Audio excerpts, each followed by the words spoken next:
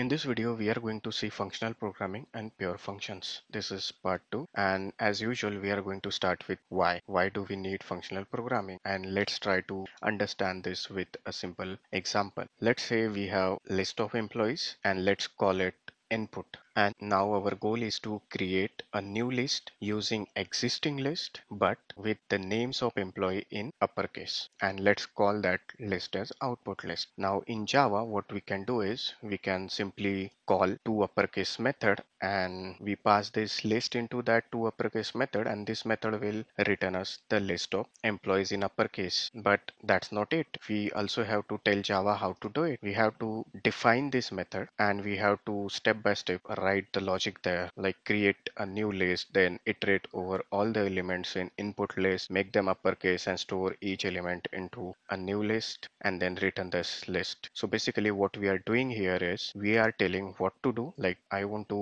make a list into uppercase and we are also telling java how to do it. And this way of programming is called as imperative program. But consider this example here where we are telling java to stream the elements of input list and then map each element to uppercase and then collect it into new list. So basically we are not telling Java how to do it. We are just telling Java what to do. And this kind of programming is called as functional programming where we express what we need rather than focusing on how to do it. And this is the beauty of functional programming. It makes our code concise, more readable, and obviously then makes it more maintainable, right? But some of you might argue that the code that we have seen here with stream seems to be more complex. But the thing is, you have worked with imperative programming so much that the code that we saw in our previous slide was more familiar to you. So don't get confused with familiar versus simple. Okay. The code that we saw on previous slide is more familiar rather than simple.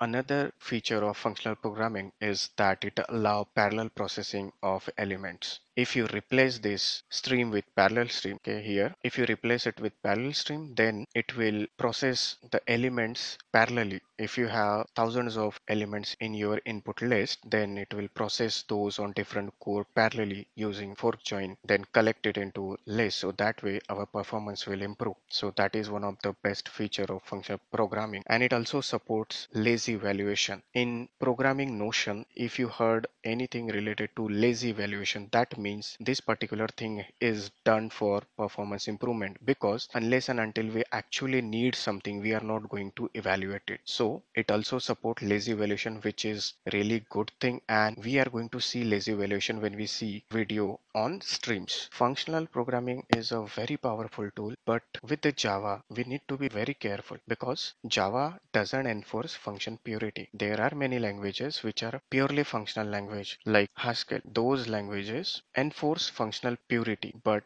in java it is not there. So we need to be a bit cautious when using functional programming. What i mean to say is it's our responsibility to use pure functions when we are using streams okay? I think it's still not very clear. So let's consider here an example now. Suppose we have a class and it has a static variable count okay? And now we have a list of integers and this list contains integers from 0 to 1 lakh and what we are doing is we are streaming each element and for each element what we are doing is we are simply incrementing the count value by 1 obviously there are 1 lakh elements in list so count value would be 1 lakh at the end and we are going to print it right? So let's try to run this program in IntelliJ okay so here is this program the same program and if we try to run this program the program prints 1 lakh which is correct right? And now let's try to replace it with parallel stream okay? That means these elements are going to be streamed parallelly on multiple cores. And you see the value is different. It says 33000 elements are there which is wrong right? That means when we use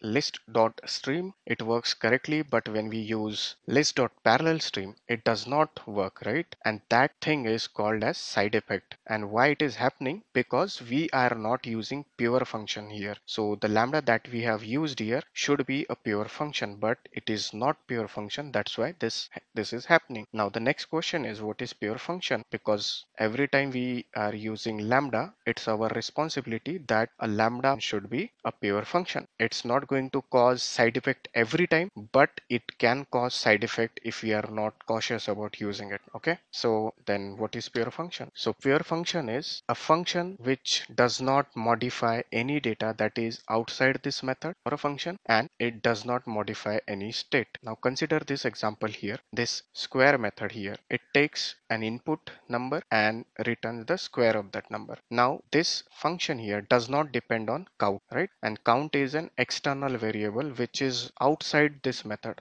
right? So any function or a method which does not modify any data that is outside this method okay? Even this input parameter right? In this case it is a primitive type right? So it won't affect but even if it is you know object or a list we should not modify any input argument to that method. So anything that is outside this method should not be changed and even there should not be any you know database changes like insert query update query right? So that is one of the important properties property of pure function that it should not modify any data that is outside this method okay? And it should not even modify any state like doing database update or insert kind of things okay? And another property is its behavior should not depend on any data that is outside. So first one is it should not modify any data that is outside this method. And any data that is outside this method if they are modified this should not affect our function. I'll give you an example. Consider this area of a circle method here. This method uses a variable pi which is